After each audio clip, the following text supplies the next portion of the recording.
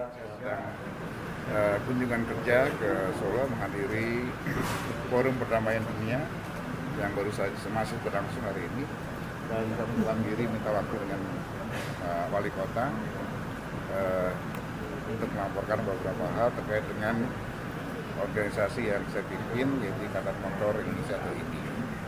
Dan alhamdulillah saya membawa uh, ketua ini Jawa Tengah dan sekjen ini Jawa Tengah Koni ketua Koni di sini dan uh, mohon Pak Gibran untuk bersedia menjadi ketua Dewan Pembina dan alhamdulillah beliau bersedia untuk menjadi ketua Dewan Pembina ini Jawa Tengah. Nah, yang kedua saya melihat Solo ini sebagai kota yang gampang dijangkau dari Jawa Timur, Jawa Barat, Jogja.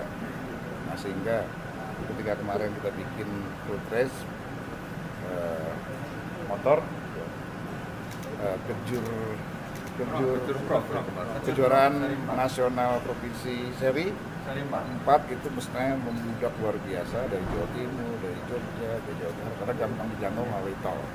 Nah sehingga kita berencana mengajak kerjasama dan Pak Gibran wali kota sedang memikirkan tempatnya yang yang pas di mana untuk membuat sirkuit untuk yang permanen untuk meningkatkan selain uh, atlet juga uh, sport tourism.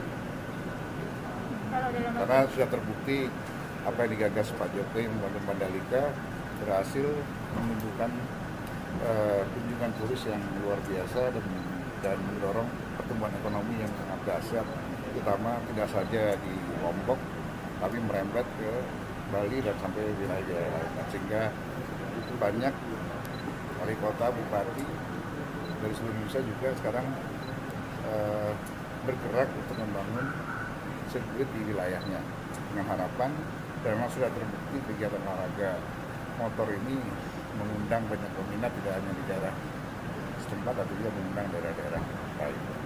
Dalam waktu dekat ada event yang akan diselenggarakan? Jadi kita lagi bincang-bincang dengan Pak Wali Kota dan ada kawan tembong.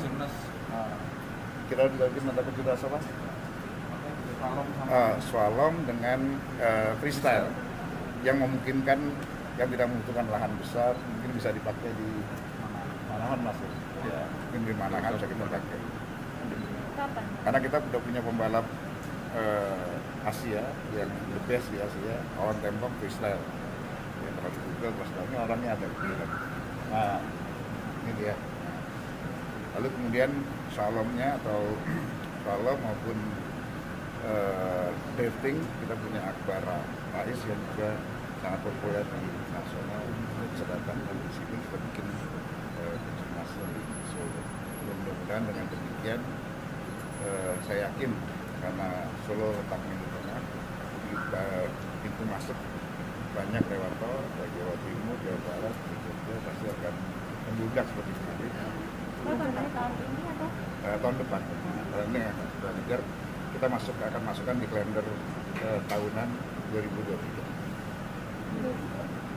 Ya. Bulan apa Pak? Belum kita masih susun nanti di pusat uh, dari Rakernis uh, Desember awal Desember untuk menyusun agenda seluruh Indonesia karena ya, kejuaraan di Indonesia ini motor ini ini hampir 4.600 tahun dari mulai kejurna, antar klub, kejurnas, Asia, uh, dunia ada sekitar 2000-an lebih, 2000 lebih pertandingan. Gitu. jadi kita akan masukkan di kalender kita. Masuk juga tahun depan akan ada Formula E lagi dua seri kita dapat di Jakarta. Kemudian uh, World Superbike yang kemarin selesai tapi ada lagi bulan uh, Maret lalu MotoGP juga tahun depan MXGP, MXGP dua seri juga ada di Lombok dan di Sumbawa. Itu uh, tahun depan. Jadi akan banyak kegiatan uh, internasional di Indonesia. Ini menarik karena kebetulan alhamdulillah kita di IMI bersyukur bahwa Pak Jokowi memiliki hobi yang sama dengan kami. Kota Solo Motoran. kecipratan yang mana, Pak? Hah? Kota Solo kecipratan yang mana itu, Pak? Hah? Kota Solo kecipratan yang mana itu, Pak? yang tadi saya sampaikan freestyle sama eh, shalom. Nah saya mau dorong satu lagi itu apa namanya drifting. Drifting yang apa ngepot-ngepot sampai mama kayak shalom. Itu minatnya banyak. Selain membicarakan di motor ini ada pembicaraan politik nggak Pak? Lobby-lobby Nggak politik. ada. Pak, Mas Gibran kan didukung DPD Golkar untuk maju pilgub. Gimana kalau di PP Pak? Ah, ya pastilah saya. Saya kan Golkar, wakil ketua Golkar pasti setuju kalau Golkar mendukung Mas Gibran karena Mas Gibran termasuk wali kota yang paling populer saat ini di Indonesia. Jawa Tengah apa Jawa Tengah? Mendukung Jawa Tengah apa Saya DKI? Apa? Mendukung ke Jateng apa DKI? Saya berharap di DKI beliau, karena beliau udah jadi tokoh nasional. Tadi ada lobby-lobby ya Pak ya? Enggak, enggak, enggak, enggak, bicara, enggak ada bicara lebih tapi ada pembicaraan lebih lanjut. Golkar mendukung ya pasti. Tapi ada pembicara akan ada pembicaraan lebih lanjut Pak. Ya, eh, terma- apa, terkait dengan olahraga. Pak Yang selain lain popularitas, uh, mungkin ada lain yang dilihat dari Mas Gibran. Ya, video yang terakhir kemarin itu menunjukkan beliau punya karakter, punya ketegasan, dan pro eh, rakyat. Video yang yang mana? Pak? Dengan Pak Yang Anies? buka Oh,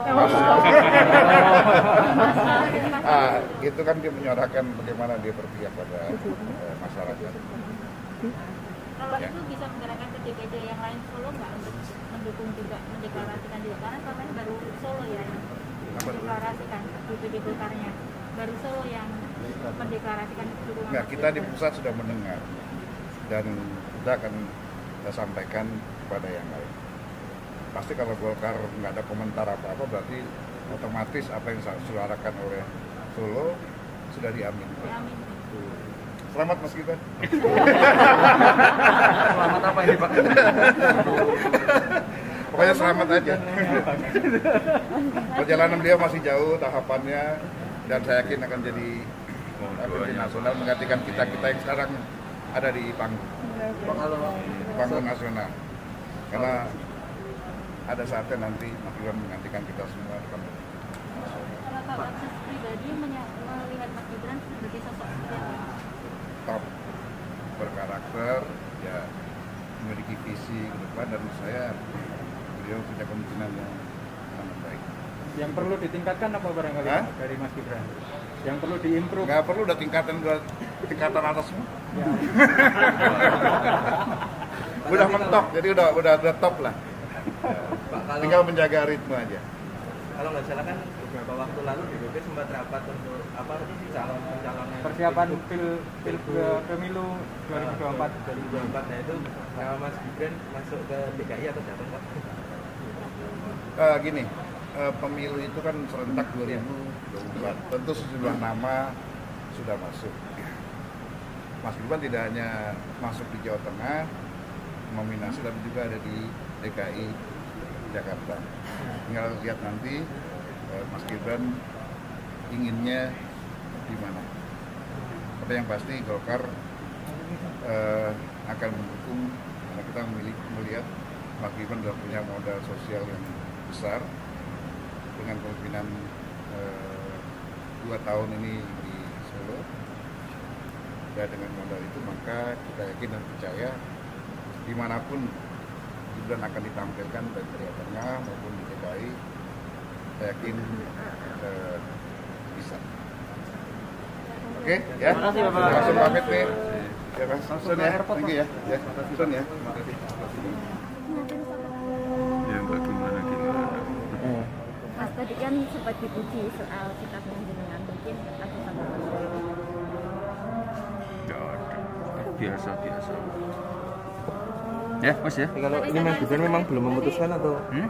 memang belum memutuskan untuk selanjutnya atau pripun Mas? Sekarang sekarang. saya sudah memutuskan Cuman aku kan mau memutuskan sesuatu, sesuatu kan pasti lima tahun 10 tahun sebelumnya iya lama. keputusannya berarti berlanjut ke ya mbok Jenjang. rahasia Eh, masih rahasia? rahasia. Emang yang wali kota kemarin juga gitu Mas, memutuskannya 5 atau 10 tahun sebelumnya. nah itu sebelumnya Cita-cita dari kecil dong. cita-cita ini dari sebelum tes kan Oh ya, beliau anu sebagai ketua ini eh, ingin bekerja sama dengan Pemkot Solo. Nanti akan kami carikan tanahnya. Sudah kalau nggak punya tanah ya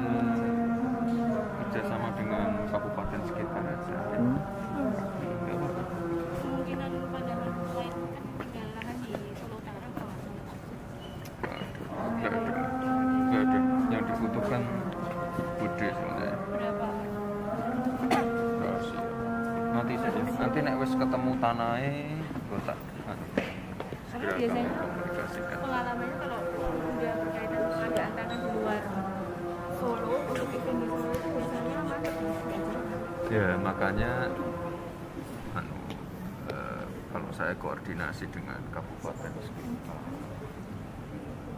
Jadi ini off the record. Ya, itu disampaikan. Dan tadi udah. Ya intinya kalau ada ada investasi-investasi yang membutuhkan tanah, aku biasanya ke kabupaten sekitar, tanya bupati-bupati, Pak Bu ini berkenan nggak kalau ini saya lempar ke sana? Ada beberapa yang seperti itu, kampus-kampus, sekolah, Nah, kan nggak semuanya bisa di Solo, ya. Banyak tanahnya banyak yang butuhnya di Solo mas kemarin. Ya kalau memang secara branding, akses, kesiapan misalnya kesiapan hotel, akomodasi dan lainnya memang Solo yang paling siap. Tapi sekali lagi nggak apa-apa. Misalnya agak minggir sidik neng Sukoharjo dan nanti iya apa pun yang terjadi di Solo Raya apa di kota-kota kabupaten sekitar kan ngefeknya ke Solo juga. Yang penting nginep di Solo, beli souvenirnya di Solo, beli oleh-olehnya di Solo. Memang harus memang harus anu, kerjasama dengan kabupaten sekitar. Tanah kita habis ya. Tapi dulu kan ada Hmm. waktu Pak Jokowi dulu kan ada sempat ada rencana bikin kayak taman mini gitu. Tapi kan di Mojosongo ngambil lahan sebagian di Karanganyar tapi akhirnya nggak jalan. Wih wih suwe banget akhirnya kan nggak jalan karena itu harus lintas. Susah ya. susah susah memang susah. Ya makanya kita cicil sing cilik-cilik saya juro oh juro iki wis digawe logo anyar lho. Jenenge ya jeneng jenenge ya. anyar. Baru, Mas. anyar. Solo Safari. Mas. Loh, aduh. Itu fit mas tuh, coba, coba. Ah, ya sudah dipublikasikan. Sopo? Kayaknya sudah buka lowongan tuh. Hmm, Ada yang Solo. Safari. Iya. Ah, ya wis surprise hilang. Ah, Iya. nggak ada rencana Udah buka lowongan, progresnya seperti apa Ada, lagi bos satu bulan lagi. bos-bosnya lagi di sana semua ini. artinya nama itu sudah fit mas ya? Ah, aku ndelek-ndelek wae ya. Namanya sudah fit mas ya? Namanya sudah fit gitu pak. Sudah fix ya. Solo Safari namanya ya. Pertimbangannya, Mas? Surprise-nya Dengan hilang. banyaknya pilihan nama kok. Itu al- alasannya mas? paling pas sesuai branding kota Solo yang dinamis. Gampang diingat, simple. simple. ya Udah, ah, Solo Safari. Nah, Nama Juru bilang ya mas ya? Hah? Nama Juru juga kenalan berarti. Enggak ini lebih ke lebih ke branding kota. Marketing.